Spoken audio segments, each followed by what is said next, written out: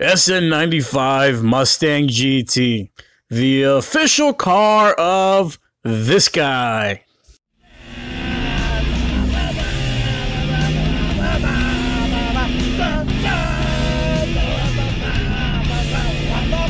Ladies and gentlemen, this is before you buy a 1994 to 1998 SN95 Mustang GT.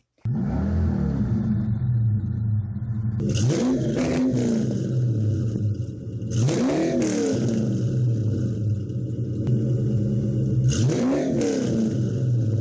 you want a fast and powerful muscle car that can still keep up with most sports cars on the road today, has a big V8 under the hood, and cost under 2500 bucks, then get yourself a fourth gen Camaro right off the bat. Just turn the video off, go get a Camaro. But, but, if you want a reliable, reliable, quick, not fast, but quick, with a bigger aftermarket support than any other American muscle car in the world, all for or around 2000 to 2500 bucks. Uh, then get yourself an SN95 Mustang GT.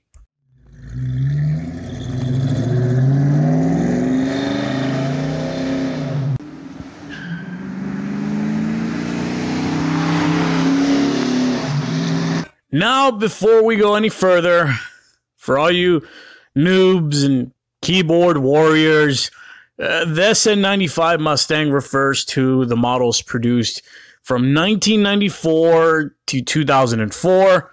What the hell does SN95 mean? Good question. SN95 stands for Specialty Sporty North American Market Project Number 95. I know, I, I know. I'm going to break it down for you. The S stands for, which is kind of stupid because it's a bunch of freaking words. The S stands for Small Specialty Market that the Mustang competes in. The N stands for North American Operations. The 95 is just basically the sequence number in Ford's numbering system for approved programs. Uh, although technically the 99 to 2004 models fall under the SN95 category, the quote unquote new edge Mustangs, as many refer to them, they do have enough differences, uh, both cosmetically and engine wise, that, that I'll just I'll just be doing a separate video on that one another time. Okay, so just keep an eye out.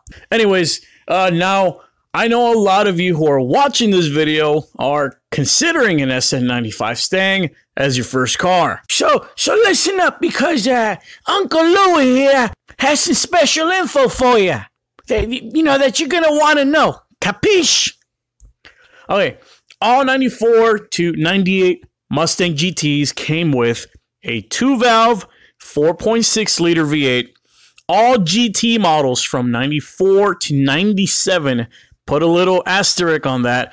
They made 215 horsepower. Yeah, I know that's weak AF, but here's a little secret though. Uh, all 98 GTs, we actually got a bump in horsepower and made 225.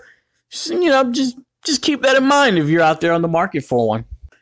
Now, quick little side note: stay away from any 94 to 95 Cobras. Uh, they were severely underpowered, only making 240 horsepower. Just to put that into context, uh, later on, all the base mo- base base model GTs from 99 to 2004 made 260 horsepower. Man, come on, base model GTs.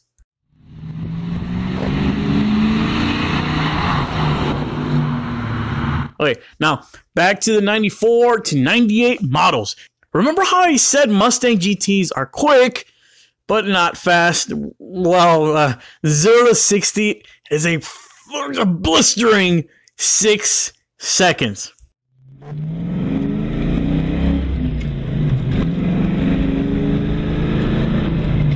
which is about 1.5 seconds faster than a Crown Victoria. However, the aftermarket modifications for this car is mwah, it's a magnifique. Every issue and problem has been solved, and Not only can these cars be made fast for cheap, but the repairs are cheap as well. But speaking of repairs, oh, here's all the crap you can expect to go wrong on your 94 to 98 Mustang GT. I swear I can't make this shit up. Okay, right off the bat, guaranteed, I guarantee you that your e brake is not going to work. Uh, there's also major vacuum line issues, especially with the air conditioning system. Your throwout bearing, also known as your TOB, it's going to go out as well. Uh, your best solution is just replace it, uh, preferably with an upgraded one. The odometers are known to fail. Uh, the clutch cables are made out of straw, pretty much. And uh, speaking of clutches, uh, yeah, you need to be a freaking part-time leg press champion to be able to operate the clutch on these damn cars, man. Keep that in mind if you're in heavy traffic areas. Uh, also, leaky coolant expansion tanks. Uh, your front ball joints, inner, outer tie rods will need replacing. High pressure line on power steering pump leaks. Your O rings go bad as well on those. And if for whatever reason on God's green hell you own an automatic, uh, just remember to change the fluid every 30,000 miles.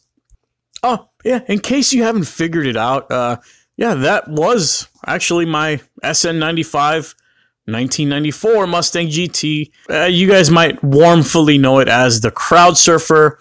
He was one of six Mustangs I have owned. So, yeah, I kind of know what the hell I'm talking about. Anyways, I'll catch you guys on the next one.